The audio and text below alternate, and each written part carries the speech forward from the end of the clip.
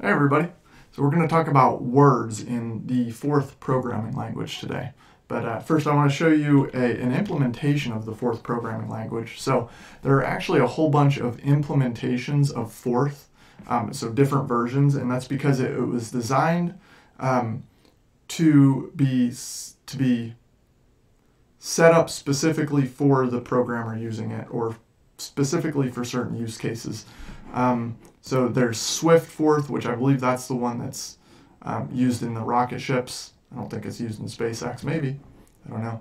Um, then there's uh, G-Forth, which is the GNU one, the open source one. There is, um, there's some other ones. There's this one that I want to show you now, Mecrisp Stellaris. This is a really popular implementation of Forth. Uh, and it's not easy to find, so this is why I want to share it with you because it doesn't say Forth in the title, right? So, but it is it is Forth um, but it's just called Mecrisp Stellaris. If you just search Mecrisp Stellaris and look for the results, says Mecrisp Stellaris unofficial user doc, and it's got some pretty interesting stuff here. This is a pretty cool website. Um, it's got this really cool quote there, but uh, if you go to the quick start, so Mecrisp Stellaris is a really popular imp implementation of Forth um, for a number of reasons. I think because it's open source, um, then it requires very few resources like assembly language level resource usage. It's very close to the metal. But then on the other hand, it's kind of like C in a way where it's it's it's a, it's considered a high level language. Um, unlike C, it has an interpreter, so it works really well for this Mecrisp Stellaris use case, which is meant for embedded chips, like tiny little chips. These things are like $10 for this discovery board. You can look, if you want to um, look at one, look for the blue pill on Amazon.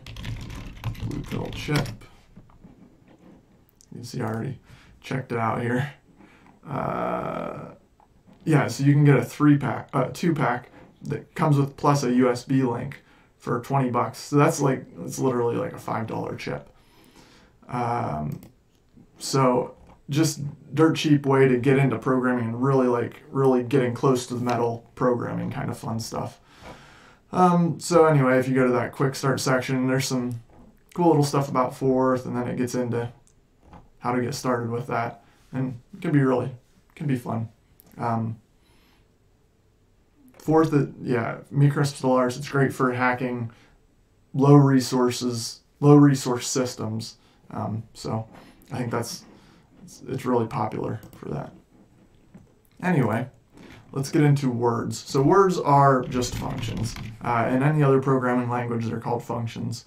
And if you don't know what a function is, basically it's just a, like a mini program. Uh, in, in Forth, uh, as we saw previously, plus is a function. So we can put 10 and 2 on the stack. So 10 and 2 are there. We do plus, and uh, so that plus is a function that processes the top two values on the stack and puts a new value on there, which is 12, 10 plus 2.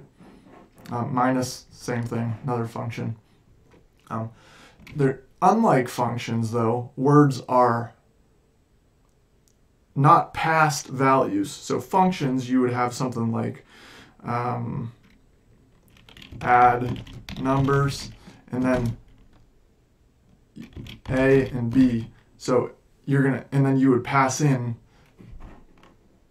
10 and 2 into that function through the programming language. With Forth, instead of passing in values, typically uh, a word in Forth will just use the values that are on the stack. So, um, you know, it's a stack-oriented language. So, uh, basically, as a rule of thumb, words can take values off the stack. They can do nothing with the values on the stack. So you can have words that just don't use the values on the stack, but do some other kind of processing. Um, you can have words that change the values on the stack, like plus, that uh, it takes the top two and then uh, adds them together and then spits out, you know, turns them into their sum. Uh, and then you can uh, have words that put new values on the stack, which that one also does. Um, you could also have some a, word that doesn't take anything off the stack or doesn't touch the stack until it puts something on the stack. So, you know, all kinds of different combinations. Um, so words are defined with a special syntax, just like functions are in other languages, but um, this is pretty different. This is pretty unique to Forth here. So here's how you define a word. Uh, it starts with a col- the definition starts with a colon and it ends with a semicolon.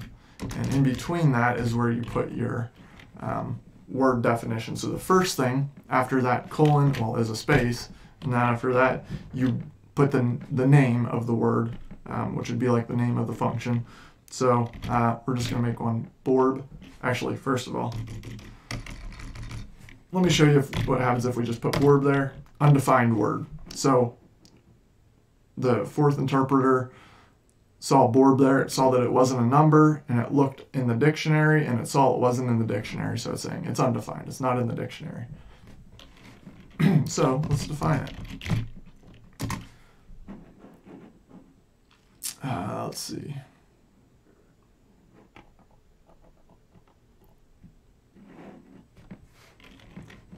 Um, so let's uh, let's make board divide what that whatever is on the stack. It's going to divide it by two. So we have our our our word, and then we have our definition here, and somewhere in there. Oops. Okay. Well, I put that on the stack. So let's just mess with it now. So what do we have on the stack right now? Twelve. I didn't put it on the stack. I defined it, so it's not on the stack. Right now, there's nothing on the stack.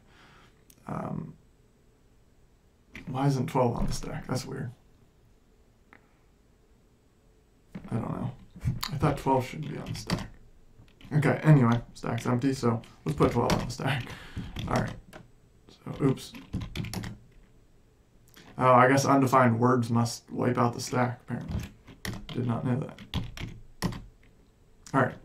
So now we have 12 on the stack, and uh, now if we do board, you can see what that's going to do in its definition. It's going to put a 2 on the stack, and then it's going to divide, which takes the top two values on the stack, which would be 2 and 12, and divides them. It starts with the left value and divides it by the right, or the top value. So, so just we'll just say board. And what do we have? We should have 6. Yes, we have 6 on the stack. Um, so there's other words like so actually we used a word within a word here because um, divide is a, as a word. So um, then we created a word that uses that word which is you know interesting. You can put words in words just like you can put functions in functions. So um, now another thing let's just do one more here. So if we put 200 and then say board we should get 100 and there's 100. So now we have 6 and 100 on the stack. Um, so another thing, when you're doing your word definitions, it's usually a good idea to put a comment in there. Uh, and the comments are just uh, uh, left parentheses and then a space, and then whatever you want your comment to be, and then another space, and then a right parentheses.